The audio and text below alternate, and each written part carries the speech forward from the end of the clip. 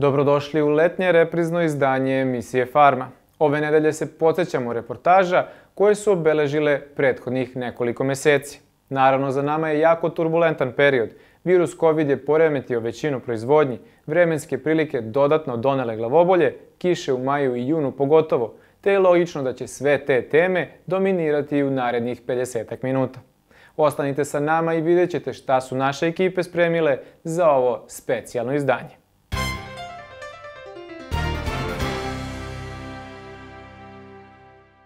Današnju epizodu Farme započinjemo sa istorijskim događajem za domaće pčelare. Posle, kako kažu, decenija rada i snova o zajedničkoj kući, napokon može da započne novo poglavlje za srpsko pčelarstvo pod nazivom Naš med. U sredu 17. juna u Rači je bilo razloga za radost. Posle dugih pregovora, radova i neizmerne želje da srpski pčelari imaju svoj dom, koji će već nadaleko poznati domaći med učiniti strateški bitnim proizvodom Srbije, učinjen je značajan korak. Otvoren je pogon za prekupljanje i plasman meda. Na svečanoj ceremoniji predstavnici vlade Srbije Ani Brnabić pripala je čast da otvori ovaj dugo očekivani objekat. Obećali smo vam da ćemo da završimo, da ćemo napraviti prvu srpsku kuću meda, vašu kuću i održali smo obećanje. I to mi je u ovom trenutku najvažnije. Znam koliko smo se trudili, znam koliko smo zajedno radili na ovom projektu. Znam kada smo bili ovde u junu 2018. godine da stavimo kamen temeljac evo nas danas ovde da otvorimo ovu srpsku kuću meda. Dom svih vas. Želim da pozovem sve i poljoprivredne proizvođače, ali sve naše domaće privrednike da pogledaju ovo, da, da vide da je moguće i da je lako kada se udružete, kada se udružite na zdravim osnovama, kada znate da imate kvalitetan proizvod i da ne morate da zavisite ni od koga i u svakim takvim prilikama vlade Republike Srbije će vam izaći u susret, pružit će vam ruku i zajedno ćemo uspeti da otvaramo ovakve pogone širom Srbije i u svim drugim proizvodnim delatnostima. Gospodin Rodoljub Živadinović, predsednik Saveza pčelarskih organizacija Srbije, koji ima tradiciju dugu 123 godine, nije krio zadovoljstvo. 237 opštinskih udruženja sa preko 8.500 članova sada ima gde da plasira svoj med. Konačno pčelari mogu da sami plasiraju med na tržište bez posrednika i to je nešto što je zaista veoma važno za sve nas, a važno je i za celu poljoprivredu da i drugi poljoprivrednici vide da je to moguće pa da i oni krenu nešto slično. Jer kao što vidite sve se može kada smo počeli da radimo sve ovo, znači mi smo imali, verujte, svega 40.000 evra na računu, a do danas je sve ovo koštalo preko milion i 500 hiljada evra i treba da se uloži naredne godine još 350.000 za još neku dodatnu opremu za automatizovanu liniju za pakovanje meda koja praktično radi bez, bez ljudi. A, to je nešto što nam je jako potrebno jer prava ideja ovog pogona je da se med plasira u inostranstvo u malim pakovanjima. Imaćemo i edukacije i primanje poseta pčelara iz Srbije i inostranstva i kroz onaj prozor će moći da gledaju šta se to ovde radi, a i svi zainteresovani će moći preko interneta da gledaju svaki deo, to je svaki kutak pogona, jer, ga je, jer je pokriven sa čak 43 kamere i to će biti novi model kako možemo razvijati poverenje i sa potrošačima i u Srbiji i u inostranstvu i pčelari međusobno i sve financije, to ja mislim, ne znam, da, ne znam da li postoji takva fabrika u svetu, sve financije ovog pogona od trenutka kad počne da radi otkup, to je plasman, bit će javne svakoga dana, na kraju radnog dana, radnici su dužni da svaki račun koji su platili, svaki prihod koji im je stigao na račun, bude objavljen javno. Da svi članovi Saveza mogu da vide šta se to ovde radi i finansijski i objektivno na terenu. U ozbiljnoj konkurenciji lokalnih samouprava za podizanje pogona Naš med, opština Rača dala je najbolju ponudu, a njeni čelnici ukazuju da je ovaj projekat upumpao novu razvojnu energiju u njihovo mesto. Pogon za preradu i otkup meda je bio u centru pažnja Mnoge stvari su se dešavale mimo toga, zahvaljujući podršci vlade Republike Srbije, radilo se mnogo onoga što smo obećali, a tada nismo bili ni na pomolu da, da to imamo. Rodoljub vrlo dobro zna. Stigle umeđu vremenu i upotrebna dozvola za gas, stigla je upotrebna dozvola za postrojenje za za preradu otpadnih voda, za Raču znamo koliko znači. Rešili smo vodosnabdevanje u Rači, puštena fabrika za preradu prijaće vode, dobili nove bunare, dobili saobraćajnicu koja nas povezuje sa carinskim terminalom u Lapovu, dobili dosta prilaznih saobraćajnica, dobili dosta projekata i dosta toga se uradilo danas kada otvaramo ovaj pogon. E, sve te stvari zaista prate ovaj pogon, direktno su vezane od uređenja ove ulice ispred samog pogona pa nadalje, zaista dosta toga. Sa kapacitetom od 3000 tona godišnje, jasno je da će se u ovom pogonu tek ispisivati zlatne stranice srpskog pčelarstva. A koliko će njegovo postojanje biti odskočna daska za domaće pčelare, saznaćete u sledećoj epizodi naše emisije.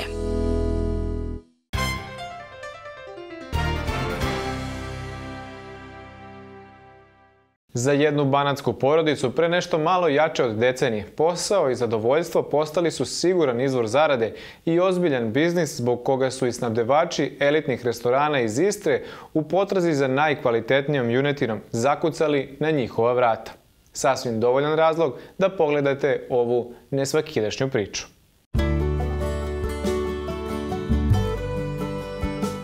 U srcu Banatske ravnice, nedaleko od Zrenjanina, porodica Bugar već generacijama se bavi govedarstvom. Prvo su to bili simentalci za proizvodnju mleka, a onda je naš današnji domaćin, gospodin Adam, rešio da promeni ustaljenu praksu i posle kraće pauze u proizvodnji opredelio se za ekstenzivno stočarstvo i sa kolegom kupio krdo Hereford goveda. Te sa pravom možemo reći da je 2009. godine počelo novo poslovno poglavlje za njih mi smo uzeli Hereforda zato što smo i tada smatrali za, da je najotpornija i naj, najprilagođenija rasa, najekstenzivnije stočarstvo. I danas se to pokazalo kao ispravna odluka. Hereford je rasa, to moram da naglasim, je rasa koja se snašla na svim predelima, od Aljaske do, do ognjene zemlje u Čileu, znači i u Paragvaju, u Braziliji, u Novom Meksiku, Novi Zeland, Australija, znači rasa koja je najzastupljenija kao tovna rasa, isključivo zato što troši prirodne resurse, znači ono što je majka priroda dala.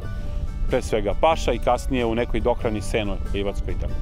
Ono po čemu smo mi poznati, to jest ja i moja porodica, je to što konstantno uvozimo kvalitetno kvalitetne priplodne bikove iz inostranstva i što uvozimo, to jest osemenjavamo vesački sa najkvalitetnijim bikovima. I naši bikovi, to jest junaca naše farme, su sada u pripodu i u Makedoniji, e, širom Srbije, Vojvodine, e, u Republici Srpskoj, u Federaciji. E, I došli smo do saznanja da su neki prošverčani čak i u Evropsku uniju.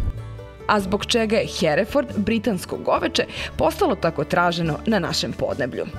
Ako pričamo u odnosu na naša, nama najpoznatiju rasu simentalca, to su sitnije krave. Znači, maksimalna težina krava je oko 600-650 kg, e, bikova u priplodnoj kondiciji 800 kg, zabeleženi su u nekom polutovu do tone, što mislim da je preterano. Znači, ako upoređujemo sa simentalcom, to je mnogo sitnija krava. I ono, ako pričamo o proizvodnim sposobnostima, to je rasa koja do 500 kg, znači što je uvražena težina za klanje, stiže sporije od simentalca, znači neki mesec, dva, ali sa manjim utroškom hrane i sa mnogo lošijom hranom.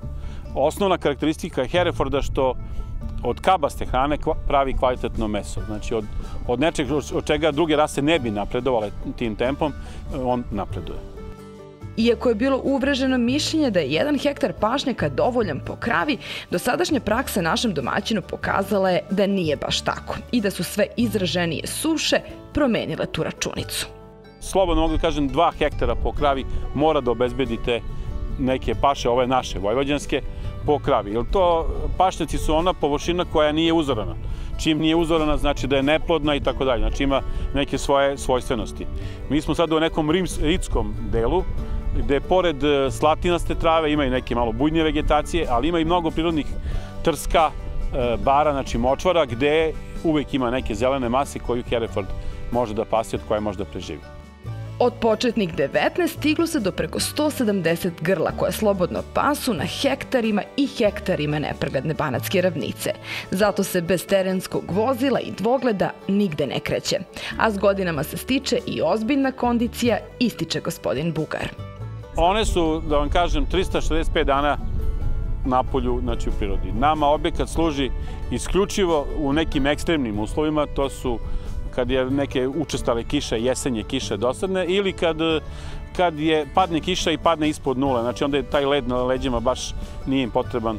Ili recimo kad su jako veliki snegovi, kada onda besmisleno bacati hranu u sneg i da one jedu. Inače, što se tiče temperature njima, nijedna naša temperatura do sad izmerena ne smeta.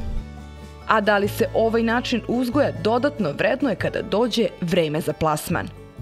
Za sad je, smo u istoj kategoriji kao i bilo koja druga proizvodnja, što nije, e, nije normalno, znači nije opravdano. U Evropi se ovakav vid proizvodnje e, plasira daleko skuplje, znači bar, bar tri puta skuplje nego standardno meso. Ja moram da kažem, sad ću naglasiti, vama kad se ljutili svi u Srbiji, postoje dva osnovna brenda e, kvaliteta. To su Hereford i Angus, to je jedan vid proizvodnje i sve ostalo je meso a ne brend. Znači, simentalac, šaroleji, limuzini, to je obično meso, konfekcija, ne kažem nekvalitetno, to je kvalitetno. Ali Hereford i Angus imaju poseban status svugde u svetu po, zbog kvaliteta i načina, načina držanja.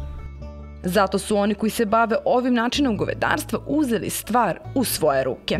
Mi radimo na tome da brendiramo ovaj, pre svega proizvodnju junećeg mesa od Hereforda i od Angusa. Ali isključivo onih farmi koji drže na ovaj način, znači ekstenzivno i gde će junad pasti uz neku dokranu, e, oni koji drže u štalama nisu, nisu u kombinaciji s nama nikako. S obzirom da se o potencijalu junećeg mesa sve glasnije govori, poslušajte pažljivo ovog banatskog stočara. Ova proizvodnja bi trebala južno od Beograda da bude strateška osnova Srbije. Znači da da eliminišemo sve te, pri, e, te priče o industriji, znači o Ling Longu, o hemiji, o petrohemiji, o ne znam o čemu, o teškoj industriji, to nije priča za Srbiju. Naše šanse su pre svega prirodni resursi i ekološka proizvodnja.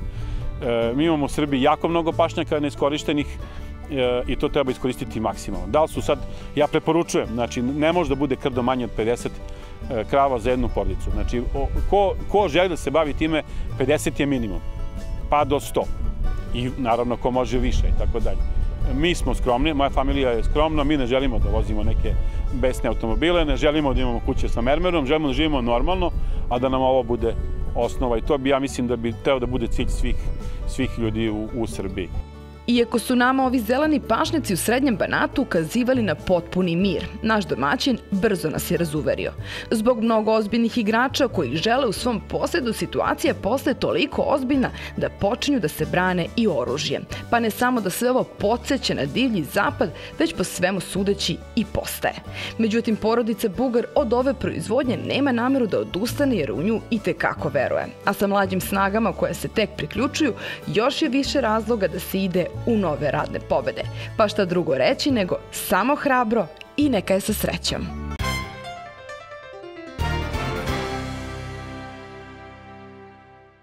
Sremsko mesto Grgurevci smešteno je na južnim obroncima Fruške gore i većina njegovih stanovnika se bavi poljoprivredom. Iako su ovdašnja blaga pobrđa idealna za voćarsku proizvodnju, do pre deseta godina se redko ko od meštana odlučivao da mu to bude osnovno zanimanje.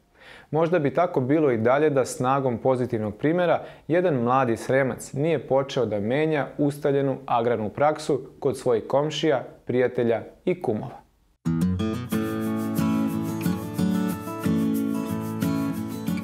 Kada se pre deseta godina Grgurevačka porodica Čarubđić odlučila da ozbiljno uđe u voćarsku proizvodnju i podigne modernu plantažu jabuka i nektarina, Meštani su samo slegali ramenima, puni sumnje da će velike ulaganja, kakva zahteva takav poduhvat, doneti finansijsku dobit.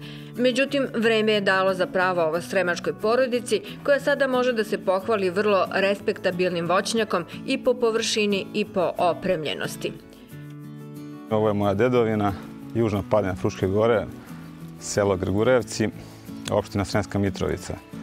Trenutno da se nalazimo, tu nam je imanje i salaš, površina je nekih 20 hektara, 12 hektara je jabuka, 8 hektara nektarina i breskva. Osim te proizvodnje voćarske radimo i čuvanje, skladištenje, pakovanje tih naših proizvoda. Posjedujemo hladnjaču kapaciteta 400 tona i svu propratnu mehanizaciju za proizvodnju Kada su Grgurevčani uvideli da od voćarstva može daleko bolje da se živi nego od uobičajene ratarske proizvodnje, na južnim obroncima Fruške gore počeli su ubrzano da niču brojni voćarski zasadi i to, što je još važnije, opremljeni sistemima za navodnjavanje i protivgradnim mrežama. Tome je mnogo doprinala i agrarna politika grada Sremske Mitrovice, koja je do njihovih plantaža dovela i struju, neophodnu za zalivne sisteme. Ovo nije voćarski kraj, to moram odmah da kažem, ali u poslednjih deseta godina Južna Padina je dosta promenila svoju strukturu, da kažemo, biljne proizvodnje, ovaj, tako da smo i mi intenzivirali. mi smo neki pioniri, da kažemo, posle ovih propali državnih društvenih kombinata, mi smo najzbiljnije ušli i povukli smo, da kažemo, neke prijatelje kumove i, komšije da i oni krenu u tu savremenu, intenzivnu proizvodnju i mogu slobodno da kažem da dobro im ide. Ovaj, širi se ne nešto mnogo, ali par hektara svake godine u selu se podigne intenzivni zasada pod mrežom, navodnjavanjem. Dobili smo i struju, elektrifikacija polja je urađena, što je jako dobro i svima nam pomaže da lakše proizvedemo robu. Boško kaže da je vreme pokazalo da u voćarstvo ne treba ulaziti ukoliko se računa na kratkoročnu dobit. Takođe, velika je istina da voćnjaci bez moderne tehnologije nemaju šta da traže na tržištu koje nagrađuje samo kvalitet. Potrebno je neki duži vremenski period. Evo ja konkretno 10 godina već ulažem u ovaj voćnjak što koji sad vi vidite. Od sadnica, bunara, navodnjavanja, protigradne mreže, sve mehanizacije da bi se to što kvalitetnije lakše odradilo. Ali opet taj neki rad i trud, ja verujem da se isplati na neki duži rok.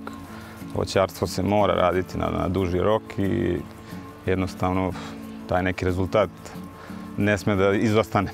Bolje je odraditi jedan hektar intenzivnog zasada kako treba, nego pet raditi na otvorenom ili da kažemo neke starije sorte i bez vode i bez protivgradne mreže, to je jednostavno nesigurna proizvodnja, tržište je veoma zahtevno, traži kvalitet u svakom pogledu i tu je računica. Naš sagovornik ističe da se do ovakvog napretka ne bi stiglo u relativno kratkom roku, da voćarstvu ozbiljan vetar u leđa nije dalo i Ministarstvo poljoprivrede i pokrenjski sekretarijat za agrar kroz brojne subvencije koje koristilo i ovo veliko gazdinstvo pomoć države, odnosno pre svega Ministarstva poljoprivrede, pa i pokrajinskog sekretarijata je bila značajna od samog podizanja voćnjaka preko sistema za navodnjavanju i sistema protivgradnu zaštitu. E, takođe i pri kupovini priključnih mašina, pogonskih mašina, mi smo aplicirali. Na našu sreću smo ovaj, imali pozitivan odgovor i to nam je 50% vetar u leđa, da kažemo, da bi mogli da, da, da odradimo sve ovo kako treba i na ovom nivou. Kako će ove godine na tržištu proći fruškogorski voćari još je teško predvideti, iako izvešte iz voćarskih rejona širom Evrope govore u prilog tezi da će se posle korone voće nešto više plaćati nego prošle godine. S druge strane, kišnji maj dojene velike probleme u zaštiti biljaka, te će možda rod biti nešto manji od prošlogodišnjeg. Pa kako će biti 2020. to ćemo videti. Rod je malo slabiji. 2019. nam je bila odlična i po kvalitetu i kvantitetu. Radimo sa par izvozničkih firmi. Da kažemo da smo zadovoljni. Otkupe nam sav rod i prve i druge klase. E, za 2020. očekujemo možda bolju, bolju cenu, ali će biti manji prinos jednostavno dalje je to doprinjela klimatski uslovi ili smo mi malo preforsirali prošle godine, ali očekujemo da će se to na kraju sve izaći na dobro. Voćarstvo je radno vrlo intenzivna grana agrara, jer je prvenstveno za berbu u voćnjaku potrebno mnogo ljudi, a radne snage je sve manje. Uglavnom odlazi na pletežnija evropska tržišta. Ove godine će možda situacija biti drugačija, jer su se zbog epidemije covid Svi ti radnici na evropskim plantažama vratili kući i neće moći do kraja berbe da odu na svoja stara radna mesta, ali će dugoročno ta činjenica biti veliki ograničavajući faktor za dalji razvoj voćarstva. Upravo zbog toga ni čarobđići ne planiraju povećanje plantaža. Mi konkretno imamo trenutno svu radnu snagu iz sela i ove naše površine odradimo na vreme i, i kako treba. E sad, da li će biti više ili manje, vidjet ćemo. E, cijena rada je skočila, da kažemo, ali jednostavno pratimo, pratimo sve trendove i računicu pravimo i sprem nas, i sprem radnika i troškova proizvodnje. Za sad, za sad ide korektno. Ne možemo nešto previše se širimo, iako bi mogli. Površine posjedemo u svom vlasništvu i sve ostale resurse, ali fanjak, odnosno manjak te radne snage nas malo ograničava. Naša državna uprava se nada da će, poučeni iskustvom iz poslednjih nekoliko meseci, kada su ih države za koje su radili istarivale s radnih mesta i uskraćivali me zdravstvenu zaštitu, mnogi naši gastarbajteri shvatiti da je kod kuće ipak najbolje i da u Srbiji ima poslova od kojih uz malo ulaganja može dobro da se živi. Ipak zdrav razum govori da se neće mnogo ljudi povesti za takvom logikom, iako je ispravna, te da će problem radne snage biti možda i najbitnija stavka kod svake poslovne odluke u radno intenzivnim granama agrara, poput vačarstva i povrtarstva.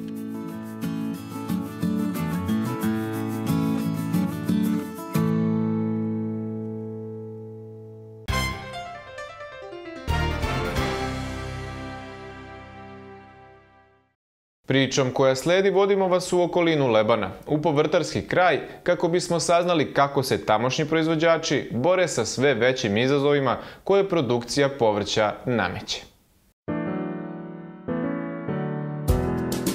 Jug Srbije od vajkada snadbeva domaće tržište svežim povrćem. Za Leskovcem, nadaleko poznatim povrtarskim centrom, Lebane i njegova okolina po kvalitetu proizvoda ni malo ne zaostaju. Među meštanima koji se svake godine trude da opravdaju poverenje kupaca je i naša današnja domaćica, gospođa Ana, koja već punih 18 godina gradi svoju poslovnu priču, ali koja nam već na početku razgovora priznaje da tamni oblak koji se nadvio na tom proizvodnjom ne uliva optimizam. Proizvodnja je, zahteva velika ulaganja, proizvodnja zahteva ogroman rad, trud. Međutim, kad dođe vreme prodaje, tu je već veliki problem. Tržište je takvo, plasmana nema, nema, jednostavno nema. Izvoz se pojavi eto, u, u toku jula-avgusta, međutim, međutim to, je, to je opet sve kratkog daha. Cene su, kao što što svi znamo, cene su ne, nezagarantovane, cene su niske uglavnom za, i onda troškove, troškove proizvodnje i troškove ulaganja je nemoguće, nemoguće pokriti. S obzirom da je paradajz, glavna kultura prema kojoj se meri uspešnost sezone, interesovala nas je koliko iznosi cena koji se proizvođači nadaju kada je u pitanju ovo povrće. Realna cena za paradajz na, na veliko, pričam na otkupu, jeste cena negde 50-60 dinara. To je da, da nešto eto, vratimo, vratimo novac koji smo uložili. Tu naravno posao naš ne, ne računamo, ali eto da čisto se bukvalno preživi. Na radost povrtara prošle godine loša ustaljena praksa na tri nedelje bila je prekinuta. Proizvođači su, kako nam kaže naša sagovornica, po prvi put u dve decenije zadovoljno trljali ruke, jer se paradajz prodavao i po višoj ceni od optimalne. Međutim, sreća im je ponovo okrenula leđa ove godine. U vreme kada je trebalo da seku zelenu salatu, proglašena je pandemija i kako je na skoro dva meseca stao život, tako je bilo i u prodaji. 15.000 salata nije imala kome i gde da plasira. Sad je ovo već, već bio veliki problem. Već bio veliki problem uh, gde sam bila prinuđena da salatu poklanjam i prodajem za, za, za, za, neku, za neku smešnu cenu, uh, samo eto da se ne baci da se ne baci. A ta salata je naravno zahtevala takođe velika ulaganja, uh, po, povremeno, povremeno pozovem i pomoć radnika, sve to, ali to sve zahteva, zahteva ulaganje i dodatne troškove. Nemoć u doba virusa korona i gubitke koje je taj period ostavio pokušala je da pokrije država. 90.000 kao što su, kao što su obećali, to jeste uplaćeno, To je lep gest države. Ta pomoć je naravno dobrodošla svakom od poljoprivrednika. Pa eto sad opet koliko, koliko toliko da, da nešto ovaj bar, bar izvučemo iz, iz cele ove priče jer je stvarno bilo, stvarno je bilo vrlo loše.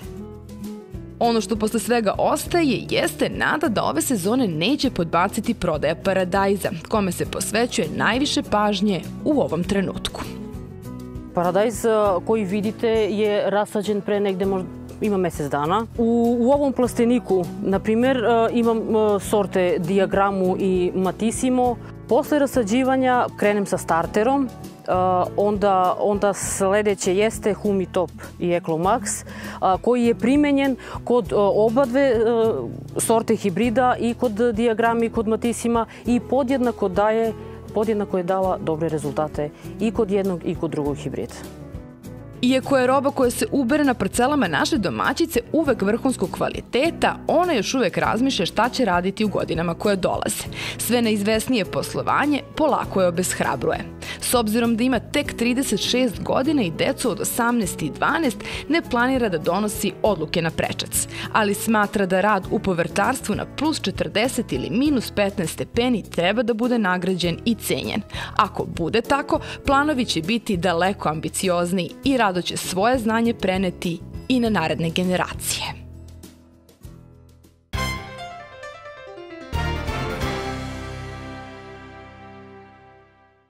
Neobičan projekat organske proizvodnje aromatičnog bilja, koji naša redakcija prati već nekoliko godina, pored proizvodnje lavande, smilja, melise, doveo je u Belopalanačko selo, Tamnjanicu i mnoge druge investitore, koji su podigli zasade borovnica, trešanja i vinove loze.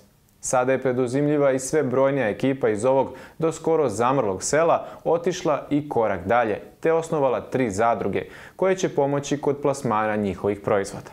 Danas predstavljamo planove jedne od tih novih kooperativa.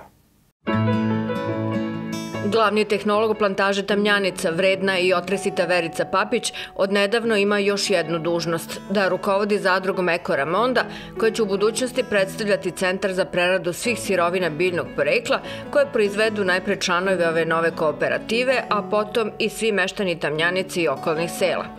Zadruga je dobila ime po biljci koja kao Feniks opstaje i u ekstremnim vremenskim uslovima i kao takva simbolizuje naše sećanje na stradale u Prvom svetskom ratu.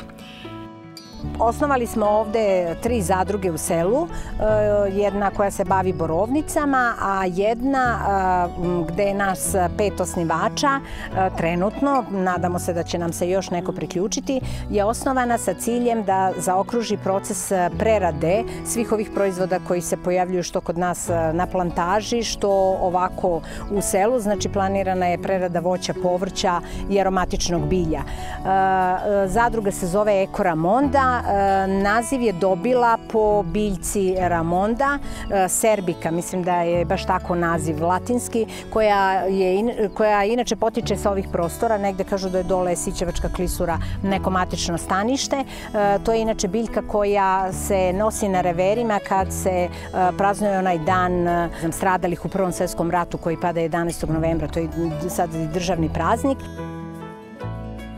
Veliki deo primarne proizvodnje na plantažama u Tamnjanici preradi se u eterična ulja i odlazi kupcu u Francuskoj sa kojim je sklopljen desetogodišnji ugovor, ali će deo aromatičnog bilja u čajeve prerađivati i nova osnovana zadruga u kojoj naglašavaju da će insistirati na ekološkom poreklu svih sirovina melisa, kamilica, ruža koju treba da sušimo. Imali smo čak i pregovore sa Jumisom. E, znači, ili ćemo pokrenuti neku svoju liniju ili neki svoj brend nekih čajeva ili ćemo opet to sve predavati Jumisu pa će oni ovaj, pakovati pod nekim tim svojim brendom ili će opet e, za nas pakovati nešto. Vidjet ćemo, to su sad sve neke opcije. Da kažem da se zadržimo sad samo na sušari, a da ne bi sad kupovali i posle i celu liniju za usitnjavanje i pakovanje pakovanje tog čaja vidjet ćemo možda u nekoj perspektivi, ali sad za sad možda se to svede na neku saradnju sa Jumisom.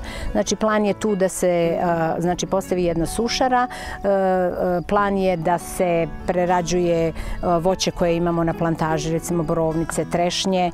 Ima jedan čovek iz sela tu koji je blizu Palanke, ima neki zasad jagoda i prošle godine smo već nešto od njega uzimali i pakovali. Znači da preradimo to voće u džemove. Bela Palanka se ponosi svojim autohtonim brendom, paprikom vrtkom koja je zbog svojih nesvakidašnjih svojstava odlična za punjenje ili proizvodnju začina. Nažalost, malo je ima u proizvodnji, te zadruga Eko Ramonda planira najpre da proširi sirovinsku bazu ovog specifičnog povrća, a da potom krene i u njegovu preradu. Evo, mi smo zasadili sad jedan e, zasad belopalanačke te vrtke. E, prošle godine smo imali nešto malo proizvodnju i više smo hteli da, da dobijemo seme, pošto nismo imali jako malo semena smo dobili i to od nekih ljudi koji su pre par godina baš imali pravo, pravo ono seme. Mi smo uzeli seme od tog jednog čoveka koji je do pre par godina ozbiljno se bavio tim. Prošle godine smo mi uzeli od njega, a i on je kao opet na obnovio zasad da što više semena skupi i ove godine i on i mi planiramo planirali smo tu, ajde da kažemo, neku veću ovaj, proizvodnju i naravno ima i dalje proizvođača po ovaj, palanci. Opština Bela Palanka se trudi da zaštiti geografsko poreklo vrtke i da je približi kupcima, najviše kroz čuvenu gastronomsku manifestaciju Dani Banice, koja se održava početkom avgusta. U promociji ovog brenda, kroz niz inovativnih proizvoda, planira da se uključi i zadruga Eko Ramonda. Nama je plan znači ove godine da se malo ozbiljnije predstavimo i na tom ovaj događaju na tim danima Banice, baš u delu te vrtke planiramo i da izbacimo ajde da kažem neke prerađevine, možda nešto kao neke namaze od vrtke, ne znam, probaćemo nešto. Ljudi prave i slatko i džem, mislim to je zanimljivo. Ja sam probala recimo džem neki, ali je bio ljut Zadrugari su od jesenas kada su osnovali kooperativu već mnogo toga uradili kako bi stvorili uslove za preradu voća, povrća i aromatičnog bilja iz tamljanice, a radi se i na širenju sirovinske baze. Postoje trenutno i zasadi lešnika, neki naši komšije imaju tu jedan isto ozbiljan zasad lešnika koji ima, ne znam, 2-3 hektara. Onda mi planiramo isto neki zasad oraha, nešto u nekoj perspektivi bi to sve obuhvatalo, lupam neka hladno ceđena ulja od toga, isto pakovanje, lupamo na slatka od zelenih oraščića i dalje nešto što već bude ovaj moglo da se smisli.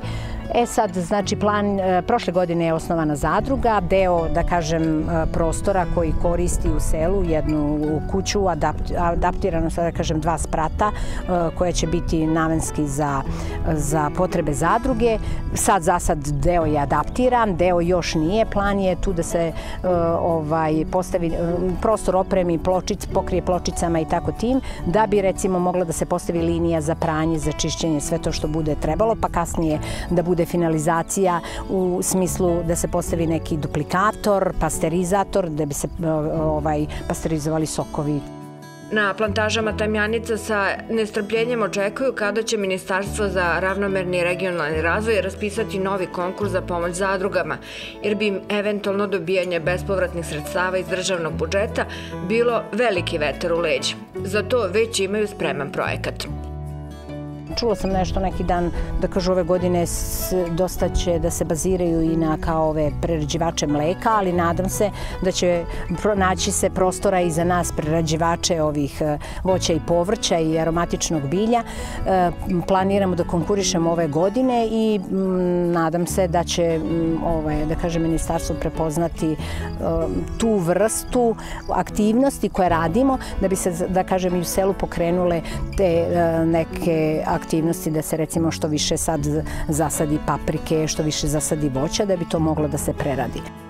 Iako izreka kaže da bez alata nema zanata, u Eko Ramondi ne čekaju da se steknu svi tehnološki uslovi kako bi započeli preradu i iz nepotpunih pogona već izlaze slatko od šumskih jagoda i ruža, razne vrste džemova, a na jednom osunčanom platovu zapazi smo i velike staklene posude pune neke crvene tečnosti. Rekoše nam da se tako sprema sok od mirisnih ruža damascena, koje su jedan od glavnih sastojaka svetske industrije parfema.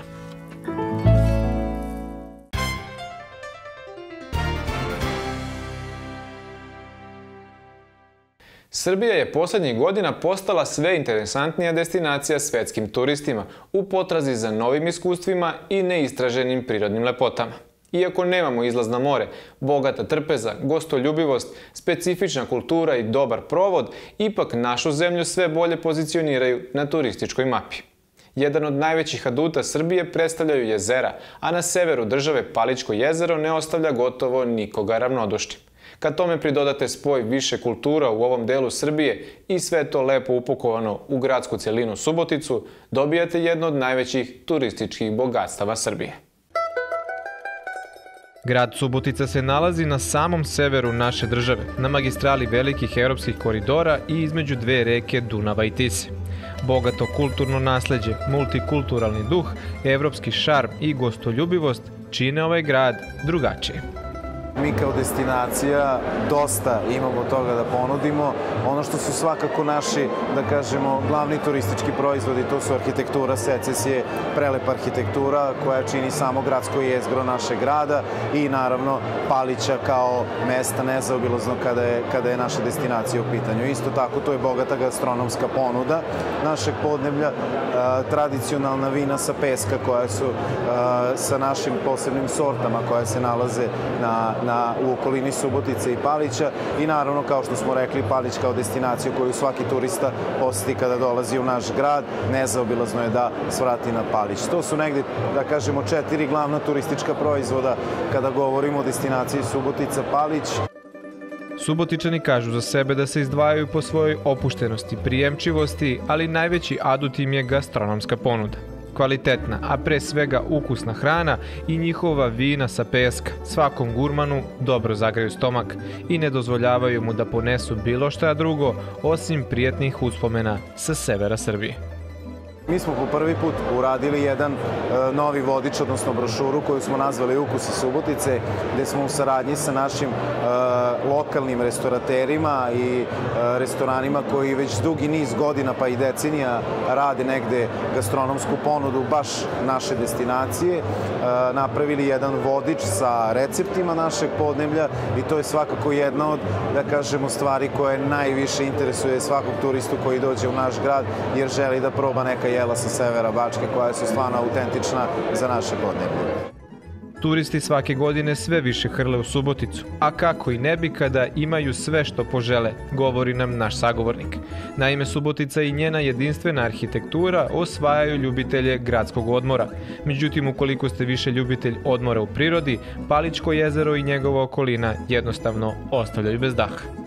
Mi našu destinaciju posmatramo pre svega sa dva aspekta, jer imamo gradsku jezgu i grad Suboticu i Palić kao neku sredinu koja je malo drugačija. Tako da, kada govorimo generalno o destinaciji, trenutno imamo dovoljno smeštenih kapaciteta za potrebe, ali pošto smo prethodnu godinu završili kao rekordnu 2019. godinu, tako da svakako i nešto što treba u budućnosti da se razvije jesu smešteni kapaciteti. Mi negde brojimo trenutno i Subotica i Palić oko 2600-700 leževa, što svakako ćemo morati i u toku ove godine i negde u narednim godinama da proširujemo jer i potrebe same destinacije rastu i savremeni turista kada pitate šta traži, traži konforan, jedan udoban smeštaj, da kažemo brz smeštaj na dan, dva ili tri, jer smo mi pre svega city break destinacija kako po novom govorimo i kako se promovišemo, tako da i grad Subotica i Palić kao destinacija imaju dovoljno smeštenih kvalitetnih kapaciteta. Naravno, možemo da se pohvalimo i da smo grad sa devet hotela sa, e, čak sa četiri zvezdice, tako da svakako za sve uh, ukuse i sve potrebe turista svako da imamo ponudu. Palić, jezero i naselje sa istim imenom nalazi se oko 8 km istočno od Subotice. On uvek nudi nešto novo i neponovljivo, a svake sezone su sadržaj na njemu sve bogatiji. Izvanredni objekti sa početka 20. veka, prelep veliki park, prepoznatljivo jezero kao i mir i tišina čine Palić idealnim prostorom za odmor i uživanje. Sa druge strane, Subotica je poznata i kao grad manifestacija, pa tako sa početkom proleća skoro svakog vikenda ima neka dešavanja. Isti nove godine će zbog novo nastale situacije verovatno biti pomeranje u kalendaru, ali plan je da se sva planirana dešavanja i održe. Subotica je najaktivnija sa proleća i sa jeseni. I, dok je recimo Palić najaktivniji u toku letnjih meseci, tako da generalno negde od maja do, do oktobra meseca grad je prepun manifestacija i dešavanja. Svakako neke od manifestacija koje ne treba da propustite su Dan grada, Interetno festival, Dužijanca kao jedna tradicionalna manifestacija za naše podneblje usko vezana i jako zanimljiva za sve turiste, pre svega domaće, naravno, koji dođu i posete Sever Bačke, takođe imamo vinskih manifestacija pregršt, tu je vinski maraton, tu su paličke vinske svečanosti, tako da jako bogata lepeza raznoraznih dešavanja i manifestacija.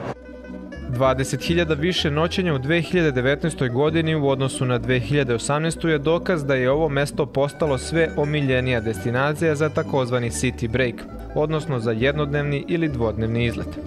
Palić najviše posećuju domaći turisti, u procentu preko 65% su domaći turisti u pitanju, dok recimo grad Suboticu posećuju 50-50. 50% su stranci, 50% su domaći turisti, što je nama izuzetno drago i kaže generalno najemitivna tržišta na koja idemo i na sajmove, to su pre svega sajmovi po Evropi gde pokrivamo negde države regiona. Naravno imamo interesantna tržišta po pitanju Izraela, sada smo se upravo vratili iz Tel Aviva sa sajma turizma jer imamo isto tako jako bogato istorijsko i kulturno nasledđe. Imamo najveću, drugu najveću sinagogu u Evropi, tako da to je isto jedna atrakcija koja je jako zanimljiva ovaj, stranim turistima. Generalno turisti strani koji dolaze u naš grad najviše su pre svega turisti iz Mađarske, zatim turisti iz Nemačke, iz Hrvatske, Kinezi su nam na četvrtom mestu i Poljaci su nam peti, da kažemo, to je top pet stranih turista koji najviše posećuju naš grad. U svakom slučaju Subotica vas čeka raširnih ruku. Dobar provod je zagarantovan.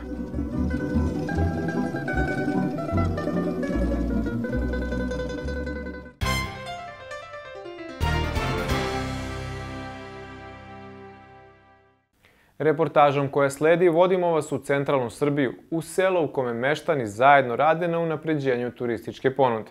Ostanite sa nama i saznajte kako su ujedinjeni oko istog cilja postigli zavidne rezultate. Na tromeđi opština Trstenik, Vrnjačka banja i Aleksandrovac nalazi se selo koje već nekoliko godina privlači sve veći broj domaćih i stranih gostiju. Ni malo slučajno. Na desnoj obali zapadne Morave i brežuljkastim padinama šumovite planine Goč i na 20 minuta od turističkog centra tog kraja Vrnjačke banje ušuškalo se selo Brezovica. Baš tako, prava reč je ušuškalo, jer je dovoljno blizu svega, a opet sasvim daleko za one koji su željni mira i netaknute prirode. Svima koji se upuste u ovu avanturu prvo će pažnju privući brojne krečane pored puta. Nekada se u ovom seocetu svaka porodica bavila vađenjem kamena iz obližnjeg majdana i pečenjem kreča a danas ih je tek nekoliko. Ali i dalje ove, rekli bismo laički, male pećine podsjećaju na prošlost i pretke današnjih meštana. Naš prvi domaćin jedan je od onih koji su rešili da se odmetnu iz stega tog drevnog zanata, ali je opet na meti svi koji posete njegovo rodno selo. Već na prvi pogled jasno je i zbog čega. E, gajim jelene, lopatare i muflone. Volim ih, gajim ih, to mi je hobi. Ja sam nekad gajio srne. Prvo sam počeo sa srnama i imao sam nekih 13-14 komada srna i sve su mi naprasno za u par dana uginule. I onda sam se opredelio na jelene lopatare zato što su mnogo otporniji i zato što mogu mufloni i jeleni lopatari mogu zajedno. Da ovoj družini ništa ne bi falilo, gospodin Goran stvorio je idealne uslove za njihovo držanje. Pa ovde ima ova dva ribnjaka. Oni, bukvalno da bi divljač imala konstantno vodu. Znači, na prvo mesto to. Drugo, imam tu neku pumpu koja izbaca vodu odato meni za svoje potrebe i za potrebe vidite da je cela livada sa prskavicama. Znači, za divljač da u slučaju da bude jakog sunca, cela livada se pokrije sa vodom i uh, uvek je zelena masa. Uh, nešto manje od 3 hektara. Ukupno je ograđeno.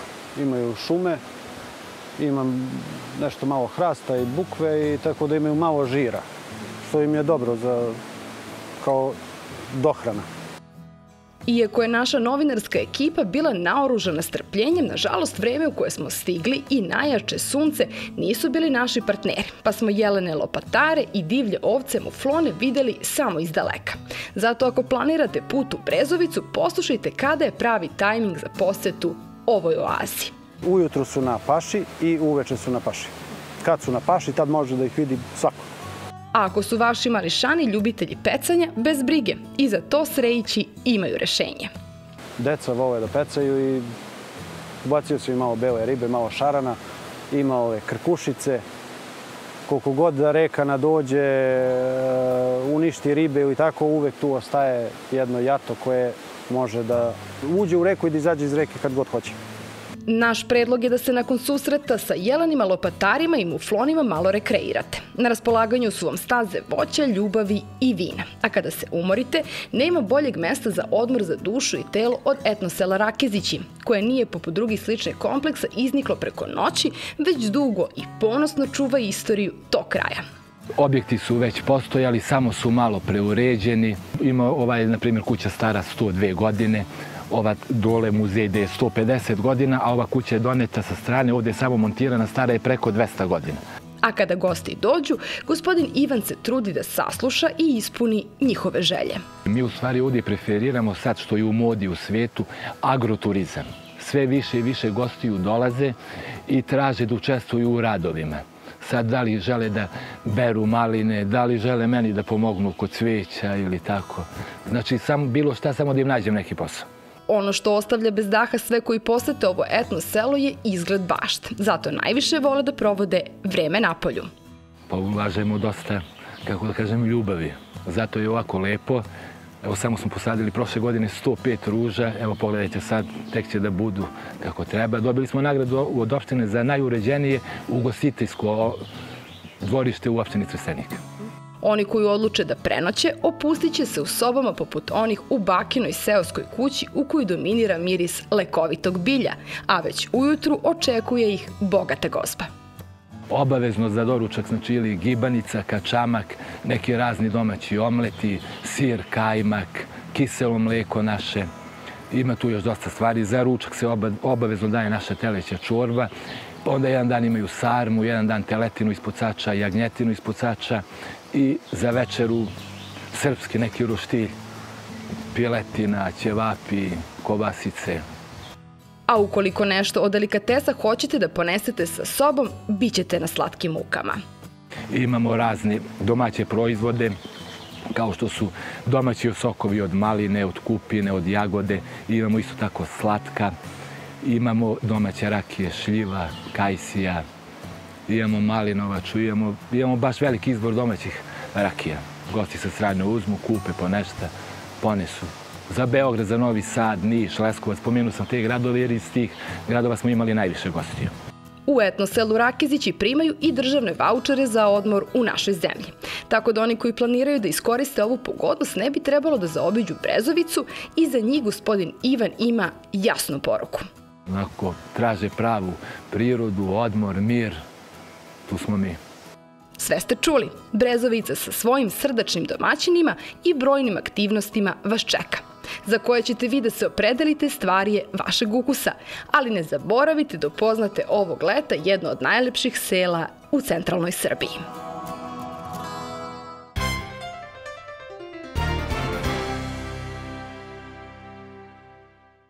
I to bi bilo sve što smo vam pripremili za ovo izdanje emisije Farma. Nadamo se da ste uživali i da ćemo svi zajedno konačno ostaviti probleme za nama i da će budućnost doneti daleko bolje biznis perspektive za sve naše poljoprivrednike. Ako ste propustili neku epizodu i želite da se podsjetite reportaža, uvek možete da odete na naš sajt, YouTube kanal, Facebook stranicu i Instagram profil. A mi ćemo nastaviti da vam donosimo priče iz sveta srpskog agrara. U ime svih koji realizuju emisiju Farma, želim vam sve najbolje.